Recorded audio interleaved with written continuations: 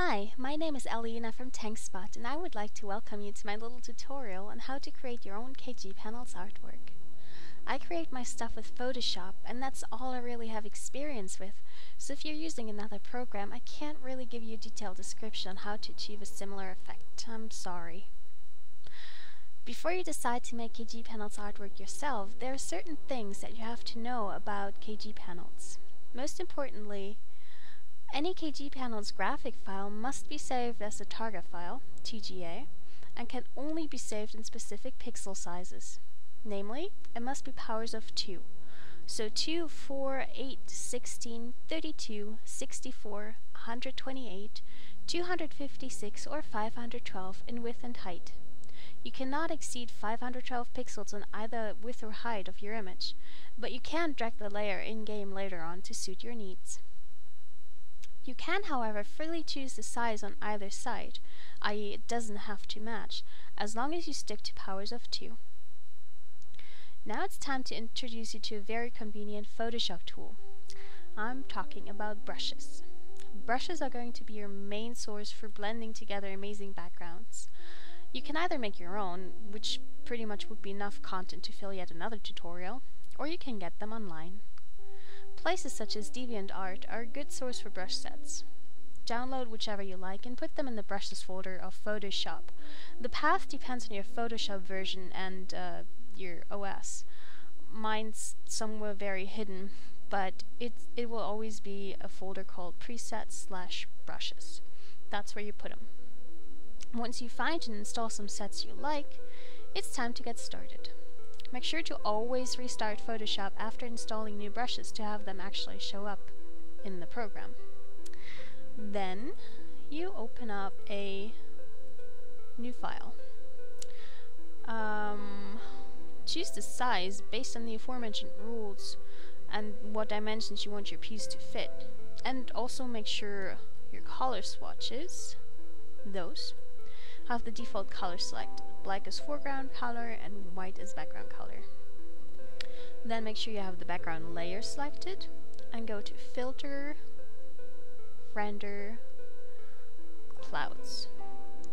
Then just hit Ctrl and F until you get something that's even, like like that kind of. You see there's only one little dark spot and the rest is pretty much evenly blended. That's pretty much what you want to shoot for. Then create a new layer on top of your background layer. And uh, change its blending mode to overlay. Now, you select your brush tool and you pick one of the sets you downloaded or really any set that you that you like. For your first layer, it should be decently sized brushes. They shouldn't be too small, uh, so you can actually cover some ground, and it will look just fine. Then just apply the brushes. Switch between white and black as a foreground color every once in a while. And, you know, play around until you find something that that you like and that looks good to you.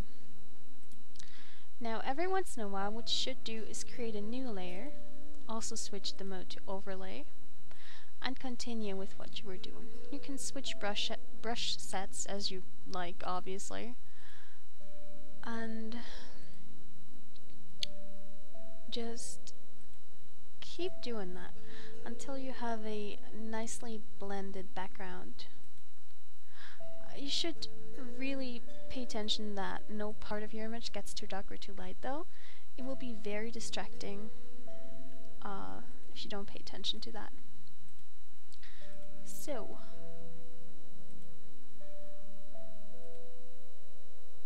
see those are a little extreme. You kind of want to keep the extreme colors for the later layers.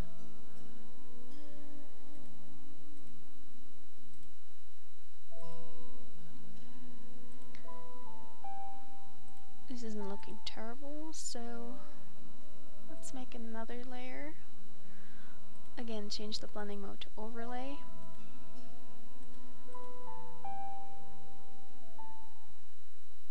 And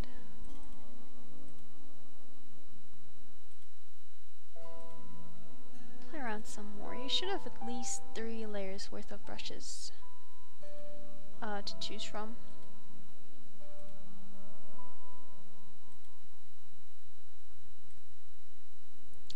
Alright, once you're happy with your background, whatever it is that you that you made, it's time to give your uh, your piece some, well, you know, some style. You kind of want to uh, to apply a certain touch. You know, either you want like maybe starry piece, or you want a a winter piece, or you know, just give it some sort of theme. Uh, for that, you're gonna need some more specific uh, brushes. Maybe something like this. This will give it a techie look. So once again, change your blending mode to overlay, and whichever brushes you choose to modify your piece. See, this is kind of giving it a bit of a techie look. Again, apply some that you like. You should probably play around more with it than I am right now but I'm just kind of trying to show you the basics. So it's not going to turn out great or anything.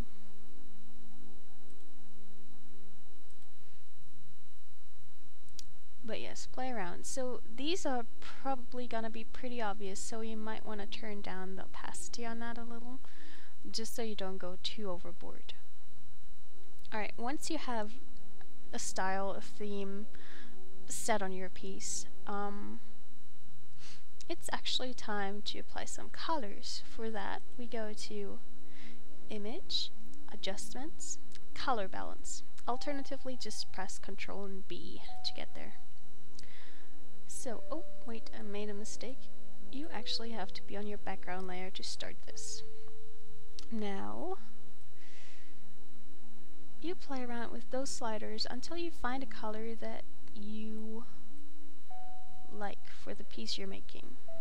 Well, what suits techie? Suppose we can go for green in this. Uh, as you can see, there's shadows, midtones, and highlights. Uh, those actually do what they say they do. See, this just the highlights. The shadow slider, obviously, just the shadows. So with the background layer, you're actually going to adjust most of the colors there are in your piece. But you should still do the same thing for all the, the other layers that you have, just to see if you can't achieve an effect that you like more somehow. It's usually tiny little details, but details are kind of important. So whether or not you change every layer is up to you, obviously. Uh, it'll still look good if you don't. Um, you also don't always have to adjust all the highlights and shadows. Usually it looks good if you just do the midtones, but as I said, it's all about playing around and finding something that you that you like to look at. So yeah. Once you're done coloring all your layers,